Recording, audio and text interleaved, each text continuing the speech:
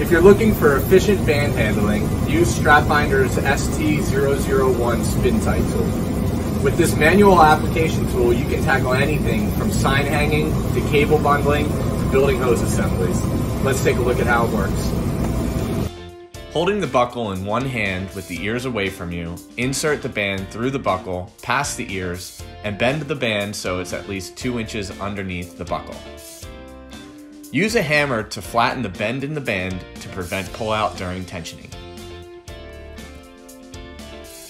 Lace banding around the object being clamped and again through the buckle.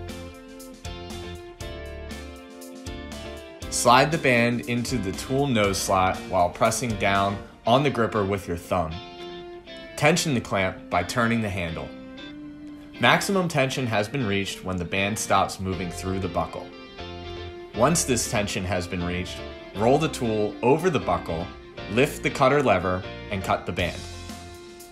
Fold the stub of the band with your thumb and complete the application by hammering the buckle ears over the stub.